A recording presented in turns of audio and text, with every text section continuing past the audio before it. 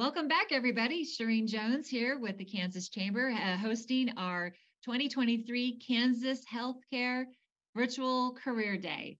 Thank you for being with us this morning. And we are now ready to focus on our next session, which is a career that is for someone who is who is curious and likes to use technology to diagnose the problem.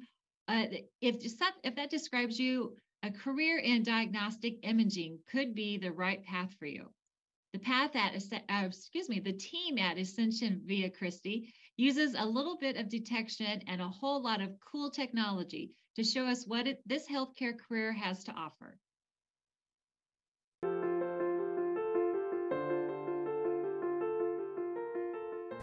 When I was a younger child, I broke about three bones. And so going into a hospital setting as a young kid, I was really scared. And the first people that were really comforting was the radiologic technologist that helped me do the x-rays and kind of bring me back into a calming mode. A typical day as a rad tech is we have um, a numerous amount of x-rays that we do normally, which would be chest x-rays from the ER, we do um, extremities from broken bones from children, from adults, and then as well as lumbar punctures where you draw CSF from a, from a, the spinal cord. We do um, contrast studies where people drink um, contrast and we watch it as it goes down their esophagus into their stomach and then as well as their intestines. When you're a rad tech, every patient is different. You don't have the same patient. So every day is going to be a different different day. We do different procedures every day. We do different exams every day. We do surgical procedures and we do um, in the in the department radiology imaging. After high school, I went to Butler Community College and I got my prerequisites done. And then after Butler, I went to Newman University. At Newman University, you will be doing an on the job training at Ascension Via Christi. You come in and you work hands on with the techs that are already accredited and have their license. And you pretty much do your whole day, eight hours there. You do on the job, you're hands on with the patients, and you do the backwards, the computer work, and all of the imaging that is required. As a rad tech, my favorite job to do is going to be the procedures. I love being hands-on with the radiologist or the PA and assisting them in all the procedures that we do. I would encourage students to become rad tech because every day is different. We get different patients, we get different variety of what you do throughout the day, and then you also get to help with the radiologist and be hands-on with patients.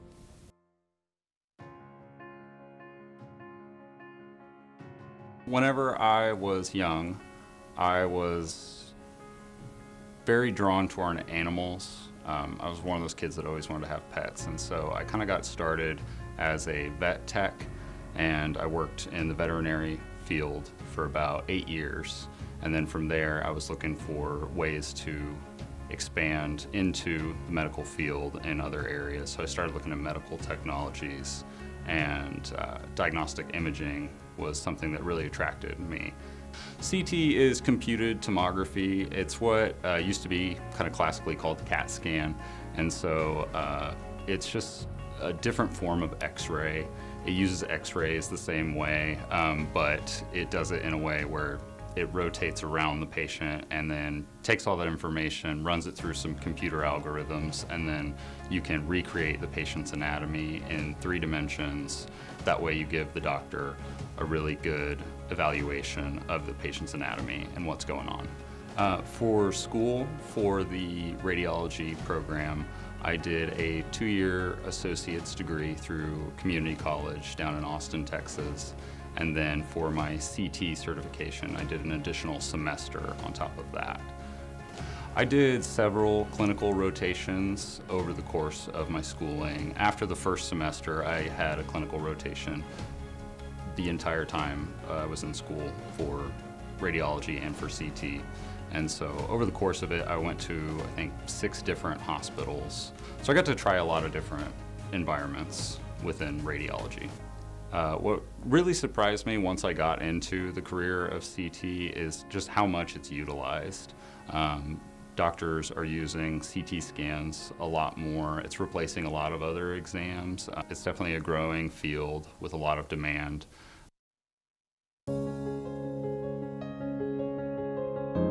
I was interested in going into the medical field pretty much uh, from high school on.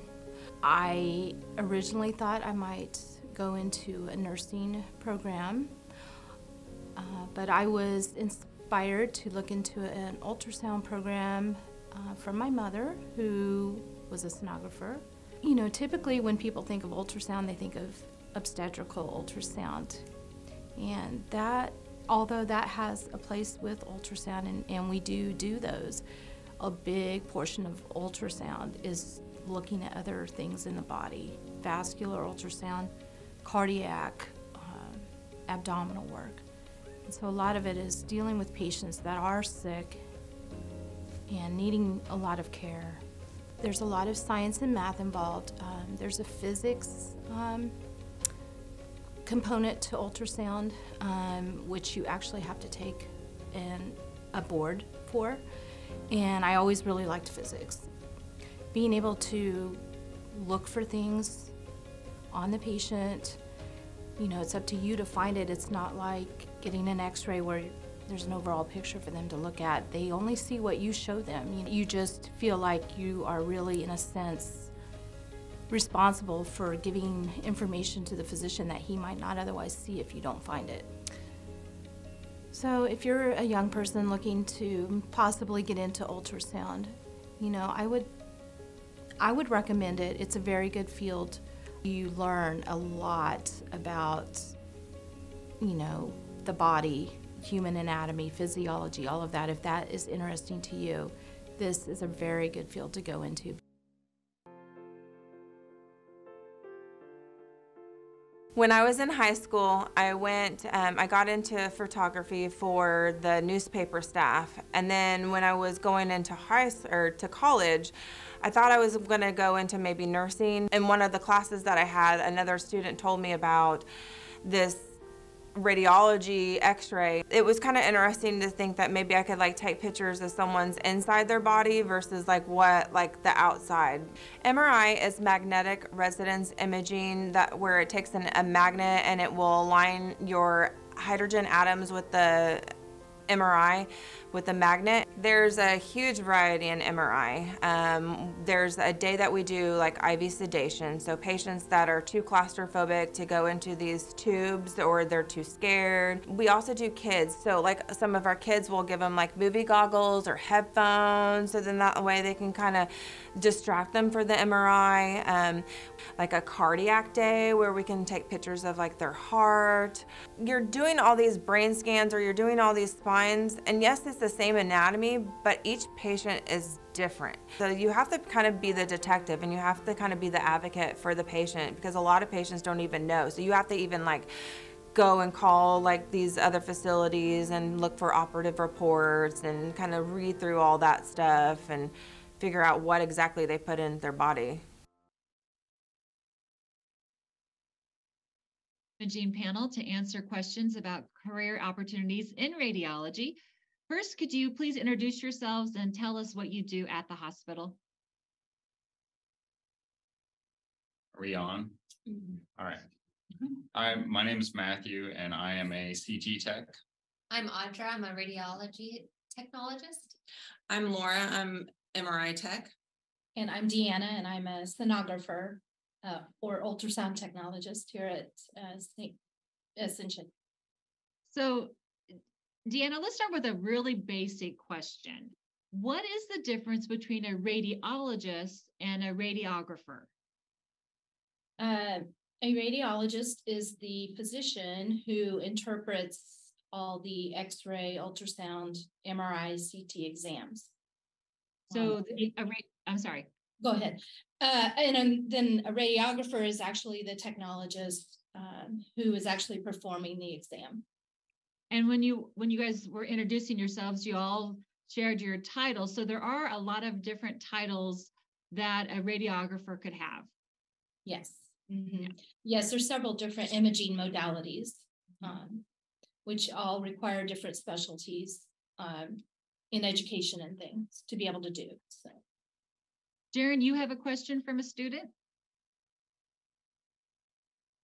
Yes, good morning again, everyone. We have a few questions that have already came in during the video. Lots of folks interested um, in radiology. So, you know, I might throw a couple your way here. So first, we have um, Caitlin from Beloit, who is asking, what is the most dangerous part of working in radiology? And what advice would you give for people interested in radiology? I think each modality probably has kind of different answers for that. Um, so I know like or a lot of radiology involves using radiation to get the imaging.